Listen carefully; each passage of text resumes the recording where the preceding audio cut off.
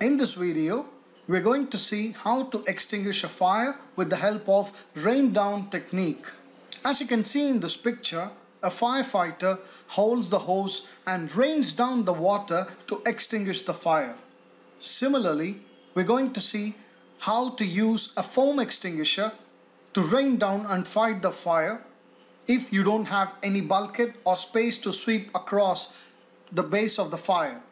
So, rain down means if you don't have a bulkhead or space to sweep the foam extinguisher, you got to lift up the nozzle and then allow it to climb to certain height and then fall as little sprays upon the base of the fire as shown in this picture.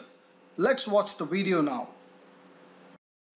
So here is a fire and assume there is no bulkhead even though there is there.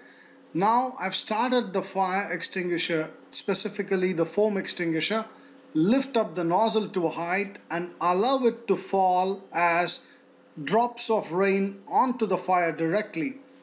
Initially the fire flames up a little bit high and then slowly it calms down as foam spreads over the surface of the burning liquid. This is what exactly is happening.